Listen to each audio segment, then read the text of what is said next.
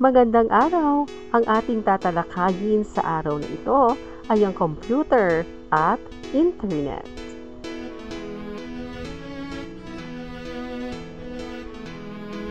Sa kasalukuyang panahon, ang computer at internet ay mga mahalagang kagamitan. Sila ay nagsisilbing mga kagamitan sa komunikasyon, edukasyon at marami pang iba.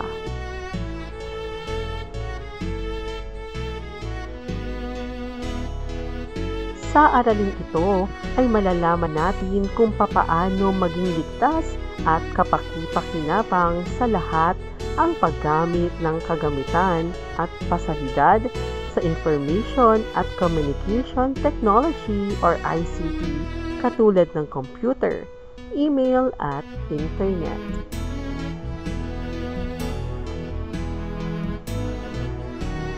Gawin natin Gumuhit ng masayang mukha kung ang sagot ay oo at malungkot kung hindi. Natitiyak ang ligtas at maayos ang pinaglalagyan ng computer. Ito ay nakauupo ng tuwid at nakalapat ang mga paa tuwing gumagamit ng computer. Ito ay nakakasaliksik ng mga impormasyon sa mga sites ng internet natutukoy ang mga panganib na dulot ng paggamit ng internet at nakakaiwas dito. Nakakapag-share o nakapamahagi ng file sa mga kamag-aral. Nakakasunod sa mga bagay na pinagkasunduan sa responsableng paggamit ng computer, internet at email. Gawin natin piliin at bilugan ang titik na may tamang sagot.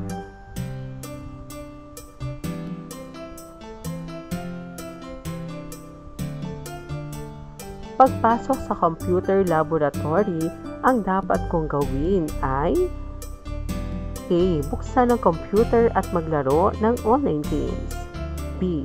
Tahimik na umupo sa upo ang itinalaga para sa akin. C. Kumain at uminom. Magingay sa loob ng silid. Ang sagot at B. May nagpapadala sa iyo ng hindi naaangkop na online message. Ano ang dapat mong gawin? A. Panatilihin itong isang lihim.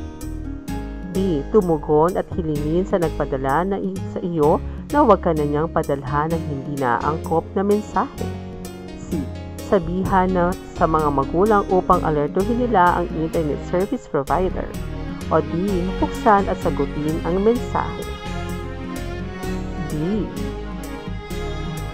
Sa paggamit ng internet sa computer laboratory, alin sa mga ito ang dapat gawin?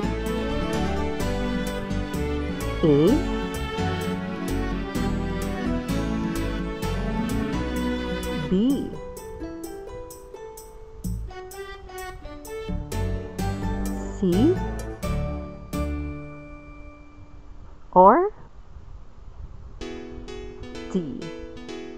Ang tamang sagot ay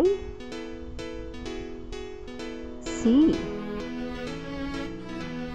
Kapag may humingi ng personal na impormasyon tulad ng mga numero ng telepono o address, dapat mong A.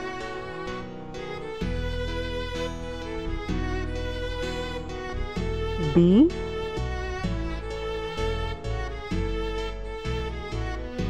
C or D. Ang sagot ay C. Nakakita ka ng impormasyon o lathalain sa computer na sa iyong palagay ay hindi naaangkop. Ano ang dapat mong gawin? A. Huwag pansinin, baliwalain. B. I-off ang computer at sabihin ito sa iyong kaibigan.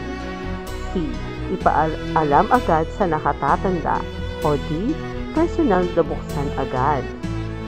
Ang sagot ay C. Gawin natin. Ang sumusunod ay mga paraan kung papaano maiiwasan ang pagkakaroon ng malware sa computer. Sagutan ang checklist sa ibaba. Lagyan ng check kung naisaga sa gawa, X kung hindi.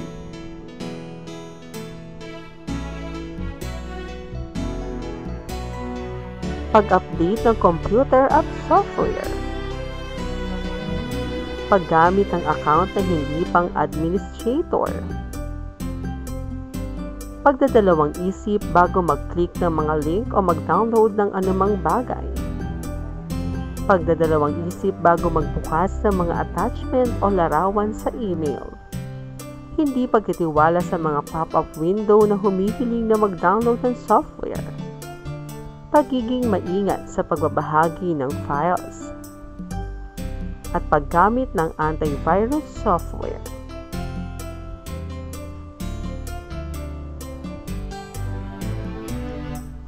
Information and Communication Technology or ICT. Information Technology ay tumutukoy sa pamaraan, kasangkapan at teknolohiya na tumutulong sa mga tao upang makakuha ng impormasyon maproseso ito, maitago at maibahagi.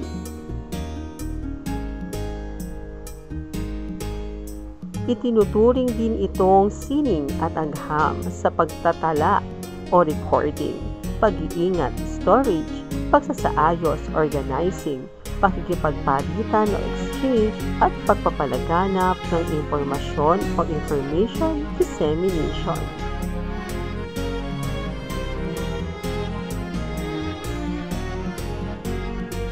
Kasya siyang gawain ang paggamit ng computer, internet at email. Ngunit may kalakip na mga salik ang paggamit ng mga ito. Ang ilan sa mga ito ay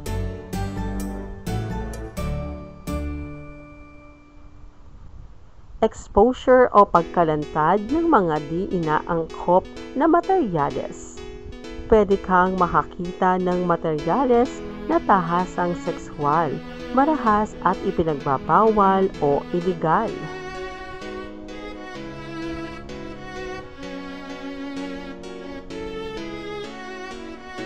Viruses, adware at spyware. Pwedeng makakuha ng mga virus sa paggamit ng internet na maaaring makapinsala sa mga files at memory ng computer at makasira sa maayos nitong paggana.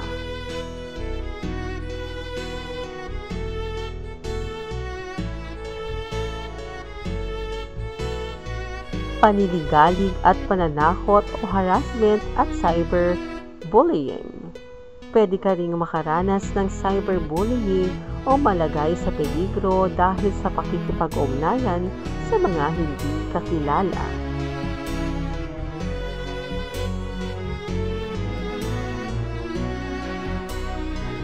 Pagnanakaw ng pagkakilanlan o identity theft. Ang naibahagi mong personal ay gagamitin ng ibang tao sa paggawa ng krimen. Pwede ding makuha ang impormasyon na hindi mo nalalaman o binibigyang pahintulot. Ito ang tinatawag na identity theft o fraud.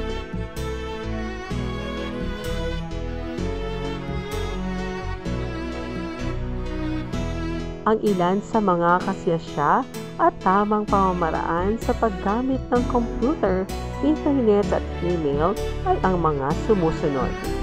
Siguraduhin itakda kung aling website ang dapat bisitahin at kung gaano katagal maaaring gumamit ng computer, internet at email.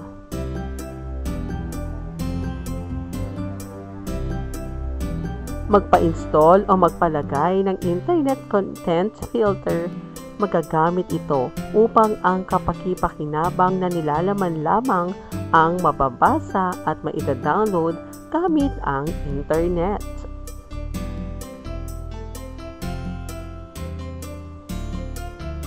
Makipag-usap lamang sa mga kakilala o kaibigan tuwing online.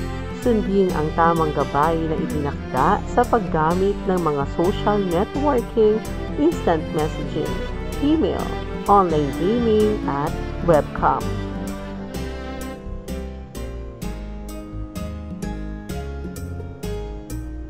Ilang bagay na dapat isaalang-alang para sa ligtas na paggamit ng Internet.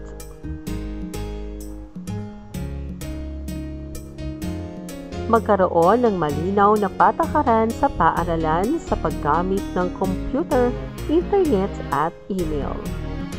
Ang pasilidad ng internet ay para sa layuning pang-edukasyon lamang i-access o buksan ang internet sa pahintulot ng guro.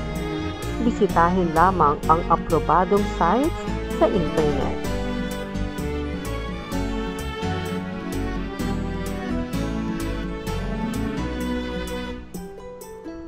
Ipagbawal ang pagdadala ng anumang pagkain o inumin sa loob ng computer laboratory ingatan lahat ng kagamitan sa loob ng computer laboratory. Sundin ang mga direksyon ng guro tungkol sa tamang paggamit ng anumang kagamitan. Gamitin lamang ang mga ligtas na search engine sa internet.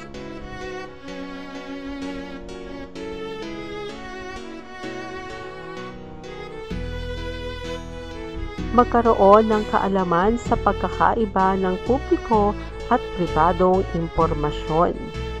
Di dapat magdathala, magbigay o mamahagi ng anumang personal na impormasyon tungkol sa iyo o sa ibang tao, katulad ng tirahan, email address o telepono.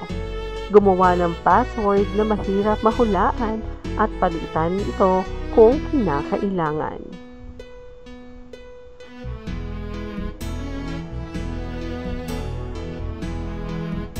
Di dapat ibigay ang password kanino man, maliban sa mga magulang.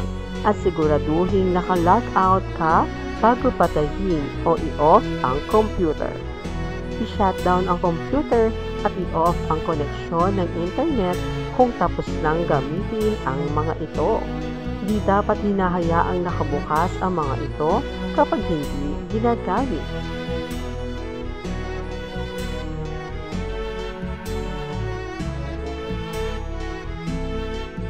Ano ang malware?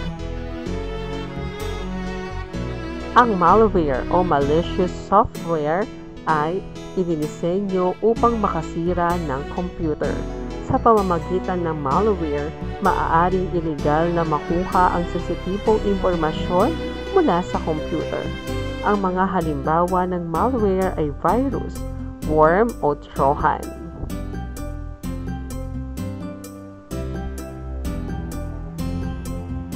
Ilang karaniwang uri ng malware.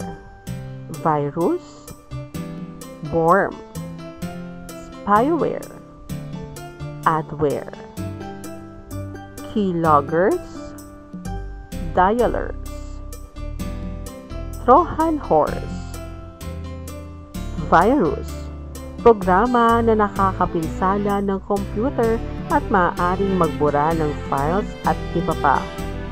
Halimbawa nito ay W32SFC-LMDO. Worm Isang nakakapinsalang programa sa computer na nagpapadala ng mga kopya ng sarili nito sa ibang computer sa pamamagitan ng isang network. Halimbawa ay W32 Silly FDC BBY at W32 TRRES Spyware. Malware na nangongolekta ng impormasyon mula sa mga tao na hindi nila alam.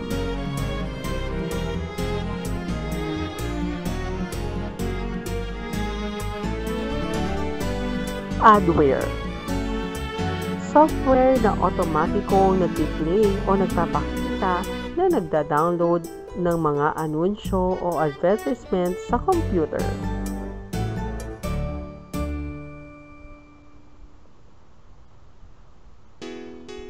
Keyloggers Malware na nagtatagla ng lahat ng mga pinipindot sa keyboards keystrokes at ipinapadala ang mga ito sa mga umaatake upang magnakaw ng mga password at personal na data ng mga biktima.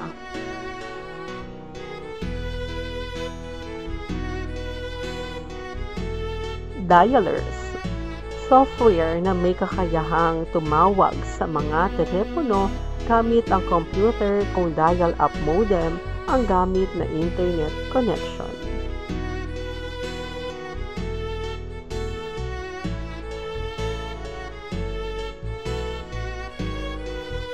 Trojan Horse, isang mapanirang programa na nagkukunwaring isang kapaki-pakinabang na application ngunit pinipinsala ang iyong computer. Nakukuha nito ang mahalagang impormasyon pagkatapos mo itong ma-install. Halimbawa ay ang JS Tedeschi Trojan.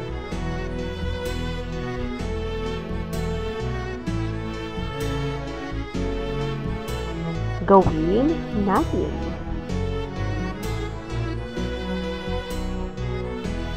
Isulat sa loob ng web chart ang mga gabay para sa ligtas at responsableng paggamit ng computer, internet at email.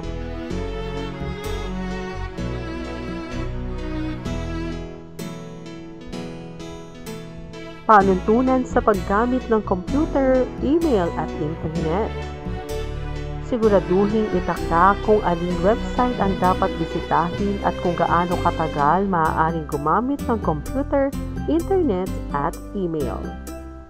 Magpa-install o magpalagay ng internet consent filter. Pakipag-usap lamang sa mga kakilala o kaibigan tuwing online magkaroon ng kaalaman sa pagkakaiba ng publiko at pribadong impormasyon.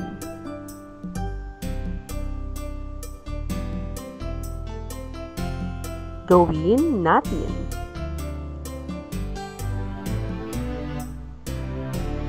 Sumulat ng isang salinsay tungkol sa paggamit ng makabagong teknolohiya na magpapakita ng maganda at di magandang dulot ito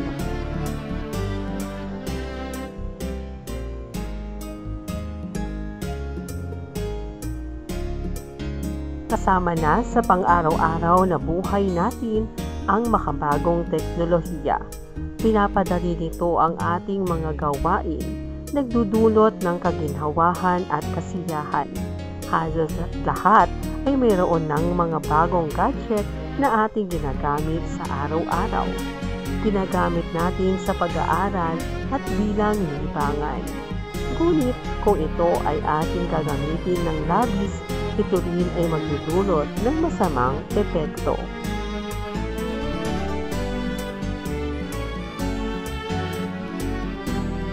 Maaaring ang labis na paggamit ito ay magdulot ng mga sakit kagaya ng paglabo ng mga mata. Nawawala rin ang focus sa pag-aaral dahil sa labis na paggamit ng mga laro sa gadget. Ang lahat ng bagay ay masama kung sobra kaya matuto tayong gumamit ng mga bagay ayon lamang sa ating pangangailangan.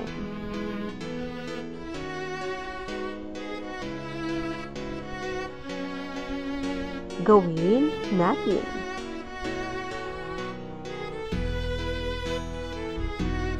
Sa iyong kwaderno, isulat ang mga kahalagahang na ibigay sa iyong buhay ng ICT.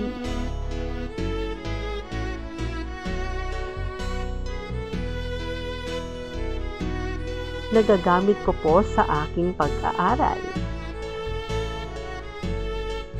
Nagbibigay po ng libangan sa akin. Napapadali po ang aking paghahanap ng kasagutan sa aking asignatura. Nabibigyan po ako ng kaalaman sa pamamagitan ng panonood ng learning videos nakakausap at nakikita ko po ang aking mga kaklase at guro sa pamamagitan ng messenger at video call. Gawin natin. Ipakita ang impluensya ng information and communication technology sa ating pamumuhay sa pamamagitan ng pagguhit.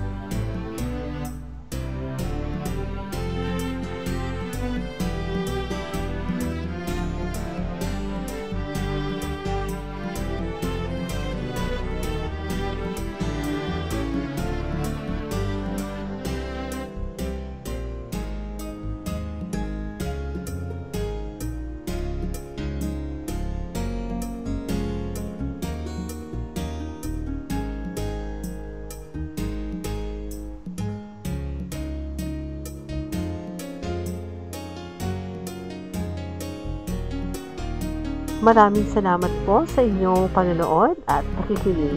Hanggang sa muling pag-aaral ng asignaturang Entrepreneurship and ICT, paalam!